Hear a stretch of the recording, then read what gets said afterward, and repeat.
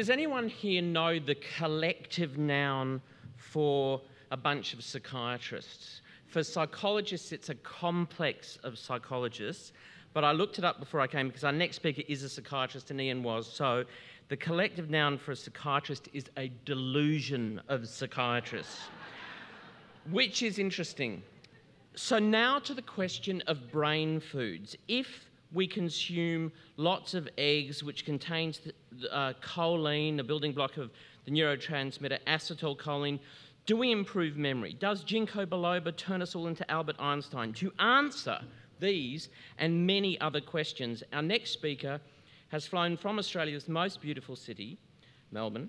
He is a psychiatrist whose research interests include schizophrenia, early psychosis prevention, but his most recent and fascinating study from my point of view, is on the efficacy of omega 3 fatty acids in young people at risk for psychosis.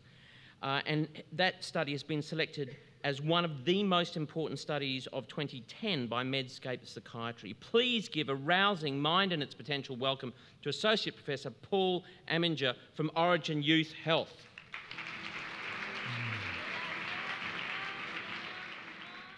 Thank you very much for this kind invitation. Uh, it's a great pleasure for me and a great honor to be invited to participate in this fantastic and very diverse uh, conference. Uh, to give you a little bit more about my background, I come from the, uh, I think, first ranked city in the world, Melbourne, but I was actually born in the second ranked in Vienna. And I came to, uh, studied in Vienna, and I trained as child and adolescent psychiatrist and also in adult psychiatry. And uh, about seven, eight years ago, I met Patrick McGorry, and this brought me to Melbourne and to, to Orygen. Uh, today, I want to talk about food uh, for your brain. And uh, actually, I came across uh, a few articles which make really very clear and obvious that there's quite a direct uh, relationship between nutrition and your brain function. If you look uh, at evolution, uh, you can see that the brain growth was pretty much uh, related with uh, what nutrition was available, and more specifically, DHA, and I will talk about DHA, uh, one of the omega 3 fatty acids, uh, more in this talk, pretty related to the cognitive skills, but also the size of, of the brain. In, interestingly, and this uh, is also part uh, presented in this uh, very nice uh, review, uh, what we see in uh, more recent years in civilization, we see an interesting association between a lack of unsaturated fatty acids and depression. And there's more research in this area done over the last 10 years, and there's now quite consistent evidence that there's a whole range of uh, psychiatric disorders uh, and mental health problems which are associated with a lack of uh, unsaturated fatty acids.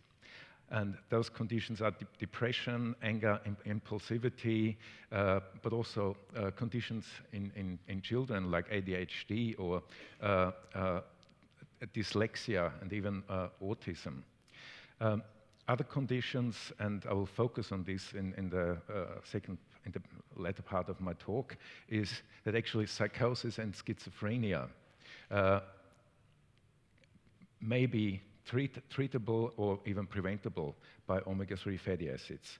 And also, um, it should be mentioned that in, in, elderly people, cognitive decline and, uh, is associated with uh, nutrition as, as well so how comes, how is this possible? Uh, I think it's, it's, very important to be aware that about 50, 60% of the brain are actually fats. Those fats are in the cell membranes and they uh, are the, basically uh, uh the building blocks of, of the brain. And there are different fats, saturated and unsaturated fatty acids, and in the brain, the ratio of the unsaturated fatty acids, uh, like DHA, uh, but also arachidonic acid, uh, is very high compared to other tis tissues. Um, th there's a whole range of mechanisms uh, which ex may explain, and there's further research uh, ongoing, uh, how omega-3 fatty acids may work. Uh, they interfere and influence serotonin and dopamine, the uh, uh, neurotransmitters. They're also uh, quite important for cytokines, and, which are inflammatory parameters. And inflammation is a very important principle in, in, in many conditions, physical and mental health conditions.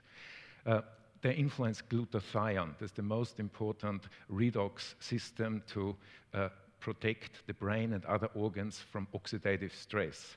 And also neuroprotectin is a, a, a, recent discovery that DHA is a precursor of this molecule which actually protects and saves uh, uh, nerve cells. So what's known uh, about psychosis and uh, omega-3 uh, fatty acids and, and, fatty acid metabolism? There are a few um, interesting observations that people with schizophrenia have a lower uh, pain and temperature sensitivity. The incidence of arthritis is dramatically lower than in, in, other people.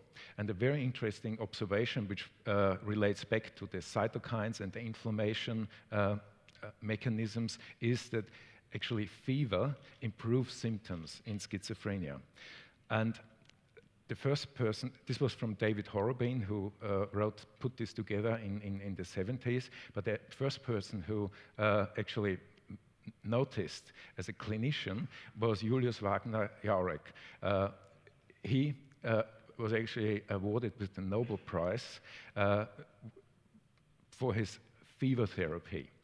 And uh, this is the first clinical observation that fever is quite a powerful and, and, and um, substances which interfere with inflammatory parameters and cytokines are actually quite potential, uh, powerful treatment agents.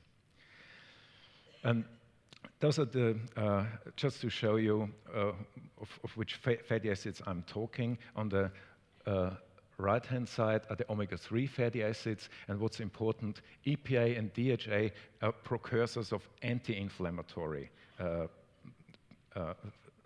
cytokines. Uh, whereas arachidonic acid, arachidonic acid is common in, in, in, in, in meat, for instance, is a precursor of inflammatory uh, cytokines. This is um, just showing if you look at the fatty acids uh, profile uh, in people with schizophrenia, you can actually see deficits. They have significantly lower levels of unsaturated fatty acids. this is uh, a, a, large epidemiological study, which is basically the same message. In people uh, who have psychosis or attenuated psychotic symptoms, the levels of omega-3 fatty acids are lower. And this uh, basically led us to the to uh, our trial to investigate if people who have subthreshold symptoms, who are not fully psychotic, uh, can be treated. Uh, this is a stage of, of uh, the illness where the intervention with antipsychotics is still uh, quite controversial because of, of, side effects. Also, there have been trials that were successful, but uh, people, people argued that uh, we are treating potentially people who don't need antipsychotics. And so we started this uh, trial of uh, indicated prevention in young people with uh, attenuated psychotic symptoms, and we screened around 250 and randomized 81 people into treatment arms, and those were the conditions. They received state-of-the-art treatment uh, without any uh, antipsychotic medication, and on top, uh, two grams of fish oil or placebo. And we followed them up for 12 months. And uh, the fish oil, this shows you, so main, the main com compounds of the fish oil were eicosapentaenoic uh, acid and DHA, uh, docosahexaenoic acid. And we were also interested um, if the people actually took those capsules. So we used gas chromatography and analyzed their erythrocytes. And uh, this is just one uh, example for such a gas chromatography. And uh, what we saw, there were actually quite dramatic changes. So people who took the fish oil had a dramatic uh, decrease uh, of their omega-6 compared to their omega-3 uh, levels. So we can be convinced that the people actually took their, their capsules. So the question is how powerful is, is such an intervention? And this is the, the primary outcome was how many people develop a psychotic disorder within 12 months. And in the omega-3 group, we had only two people, and that was 4% who developed the psychosis, uh, whereas in the placebo group, it was almost 30%. And this is a categorical outcome measure. So it's always interesting to look at dimensional continuous measures as well. And that's what we did here. And we looked at symptoms like positive symptoms, negative symptoms. Positive symptoms are delusions and hallucinations. Negative symptoms is uh, apathy and anhedonia. But we also looked at uh, functioning, the GAF score, and, and depressive symptoms. And uh, what we saw is that on all those secondary outcome measures uh, with rather large effect sizes, the omega-3 treated people improved more than uh, people who received the placebo capsules. And because we were interested how this would relate to uh, the effects of antipsychotics, we, took, uh, we made a comparison to a trial of an antipsychotic.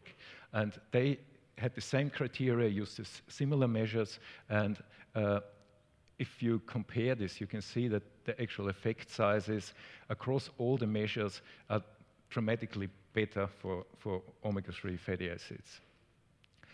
Uh, we're also interested to see if uh, those key fatty acids, DHA, arachidonic acid, and another fatty acid, nervonic acid.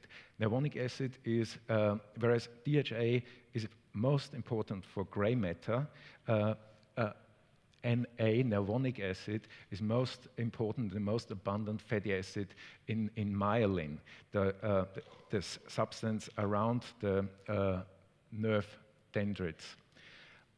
And what we found is, uh, was first of all, an association with DHA, which confirmed that there is uh, a, a, relationship, but uh, we were quite surprised also to see quite strong correlations for nervonic acid uh, with symptoms, uh, negative symptoms, depressive symptoms, but also functioning. And based on this, uh, we were interested if uh, any of those uh, end products like uh, DHA, arachidonic acid, or nervonic acid, which have also been reported to be lower in people with schizophrenia, if they are actually, if they predict uh, if, if, this could be an, used as an indicator that someone is at a high risk of psychosis. And uh,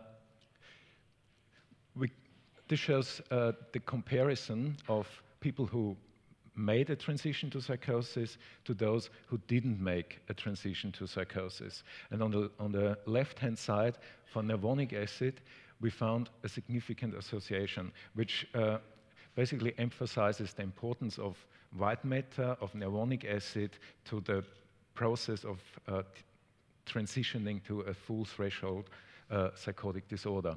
Uh, for, for, DH, for DHA, uh, the difference was uh, only at the trend level, but if, if which could be also an issue of, of sample size. So with a larger sample size, the differences may have been significant. So is it, uh, another topic uh, uh, I, I, want to cover is, is there any ev evidence that other foods uh, help the brain? I think we've all heard about that a healthy diet is very important. And this nice pyramid uh, shows you on the bottom those things uh, which you should have a, lo uh, a, lot, and on the top things which you probably shouldn't have too many. Uh, one of those diets where there is actually quite good evidence and a lot of uh, uh, research already been carried out is on the effects of the Mediterranean diet. And this diet is characterized by high ratios of monounsaturated fatty acids like, like olive oil. Uh, moderate alcohol intake, I really like the second point that you, you, get good points if you drink a glass of, of, of wine with your meal. Uh, high intake on, on, on uh, uh cereal, fruits, nuts, uh, vegetables, low intake on, on, on meat products. And we have already, uh, for physical conditions and for mortality, this is, uh, are the results from a large uh, cohort study which showed that uh, for coronary heart disease, for cancer, but also for mortality in general, there were strong associations in favor of uh, for, for, people who kept to such a traditional uh, diet. And so this is from 2003, and more recently, uh, this paper has been published, and this is only one of uh, a, number of studies in larger cohorts uh, uh, where the effects of a diet, here again the Mediterranean diet, uh, was investigated uh, if there's a potential to prevent uh, mental conditions. And in this, in this cohort, there was a, a decrease in depression. Um,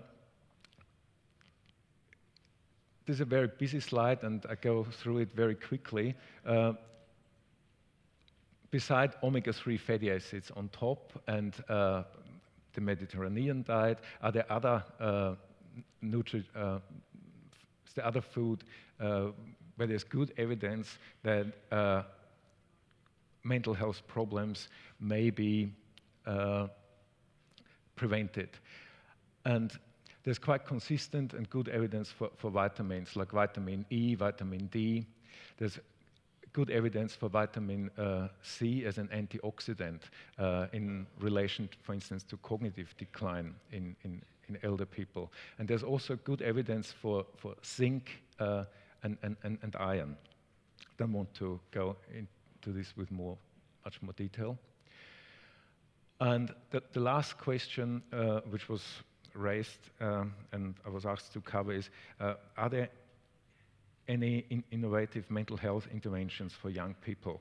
And uh, uh, I must say yes, and I think Australia is in a very fortunate uh, position.